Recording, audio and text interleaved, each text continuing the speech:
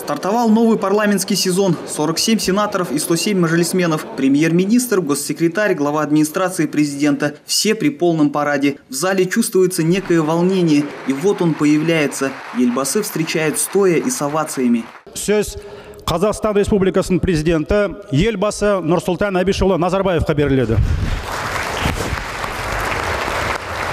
Сессия начинается с личных наставлений лидера нации. Ельбасы поторопил народных избранников принять закон о профсоюзах и разработать кодекс предпринимателей. Призвал госорганы эффективнее контролировать освоение бюджетных средств. А в конце выступления вдруг поручил сформировать в обществе нулевую терпимость к правонарушениям, видимо, в контексте последних беспорядков в Алматы. Ни у кого не должно быть никаких сомнений в неотвратимости и справедливости наказания за любые преступления и нарушения законов страны.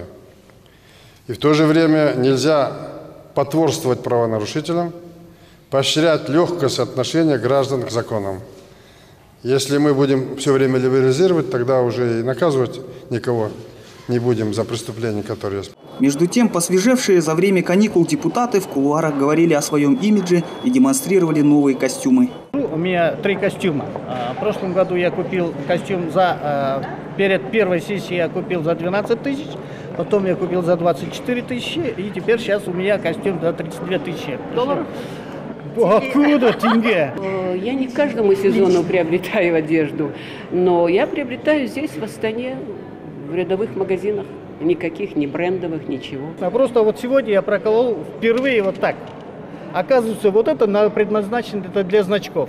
А мы прокалывали, через десятый прокол уже у нас э, проясняются дырочки. Они как бы незаметно. А телевидение, средства массовой информации, если его покажут, действительно перед народом неудобно. Я всегда одеваюсь в Казахстане и всегда стараюсь в фирмы одежду покупать, которая очень удобна для работы. Деловой стиль – это э, мой принцип. Этот костюм сколько, сколько вы купили? 32 тысячи. А, Это а, слишком недешево. Производство дешево? Да, где? Где покупали? Где такие цены? О, а знаете, у меня есть... наверное 70% скидки там Нет, нет, нет, я действительно буквально, в смысле, я правильно говорю. так. Я, Нет, ну как я- за 32 тысячи? Это невозможно. Как невозможно? Давайте, если хотите, я вам дороже а, адрес мне. Давайте, вместе пойдем и можем такой купить. А где вы его купили? Я центральный базар. У экс-сенатора Олихана Кайсарова работа нынешнего парламента вызывает улыбку. Говорит, все это не больше, чем формальность. Работодатель дает очередные наставления своим работникам. Настоящие дела совершаются кулуарно. Обыкновенное пускание пыли в глаза, то есть это ну, комедия, по большому счету комедия. Э, Никто же из сенаторов никогда не пойдет против своего работодателя. А президент, назначая своим указом, является прямым работодателем. Они не избираются, они э, не проходят э, какого-либо э, сита отбора. Это все делается только кулуарно.